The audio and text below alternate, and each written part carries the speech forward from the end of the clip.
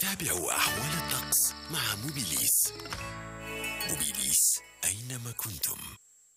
مشاهدينا الكرام السلام عليكم ورحمة الله تعالى وبركاته. حول الطقس المرتقبة لنهار الغد سيستمر الاضطراب الجوي المرفوق بأمطار بالنسبة للمناطق الشرقية وحتى بالولايات الداخلية. أمطار غير مستبعدة ستميز السواحل الوسطى لكن طقس سيبقى غائم جزئيا على السواحل الغربية. بالصحراء الأجواء ستميل إلى الصفاء عدا تشكل بعض السحب المرفوقة بأمطار بشمال الصحراء لكن ستكون أكثر غزارة ومعتبرة بالنسبة لمنطقة الثورة.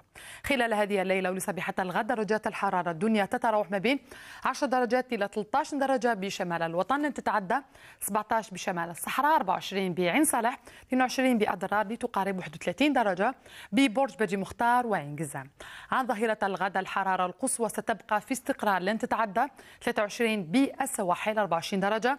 بقلمة سقراء 17 بتيزي وزول بيض 18 بالجلفة وتيارت 23 درجة بتلمسان وهران مستغانم 29 درجة بغرداية 39 بعين صالح لترتفع.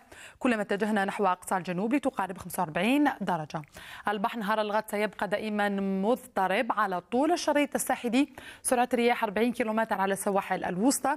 سرعة رياح لن تتعدى 30 كيلومتر على السواحل الشرقية والغربية والرياح ستأتينا ضمن تسيارات شرقية شمالية شرقية.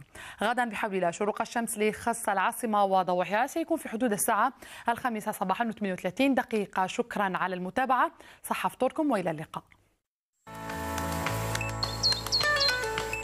تابعتم أحوال الطقس مع موبيليس. موبيليس.